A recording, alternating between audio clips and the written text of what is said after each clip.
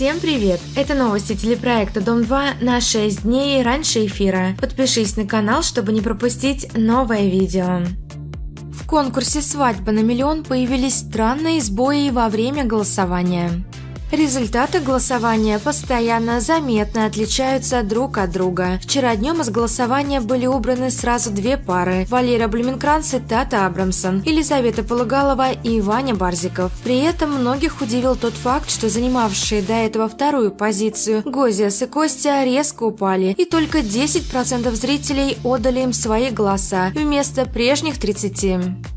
Позже из приложения ТНТ вообще пропал конкурс «Свадьба на миллион» и не был доступен в течение нескольких часов. Уже ночью все вернулось обратно, и вновь результаты заметно изменились. На данный момент лидируют Женя Кузин и Саша Артемова. На втором месте Гозиас и Костя. На третьем Андрей Чуев и Марина Африкантова. И на последнем месте голосования Дима Дмитренко и Ольга Рапунцель. Что же происходит с голосованием на самом деле и почему результаты так часто меняются, как вы думаете?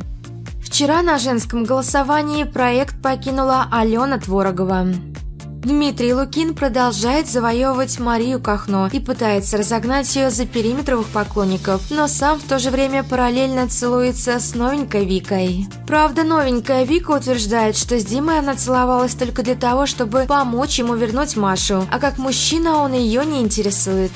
В сети появилась информация, почему Глеб Жемчугов на самом деле покинул проект. Как удалось выяснить Лайфу, причиной исключения участника стали наркотические средства. По словам источника из близкого окружения организаторов шоу, главный продюсер Алексей Михайловский уличил Жемчугова в употреблении на проекте наркотических веществ. Как сообщает источник редактора «Дома-2», неоднократно предупреждали Глеба о запрете употребления наркотиков. Когда клубничку заподозрили в запрещенных действиях уже в третий раз, мужчину вынудили сдать анализы, результаты которых показали наличие наркотиков в моче. Якобы именно за это Глеба и выгнали с проекта.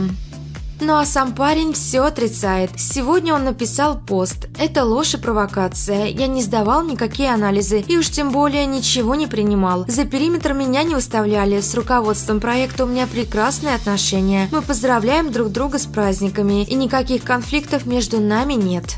Друзья, а вы верите в эту информацию по поводу Глеба?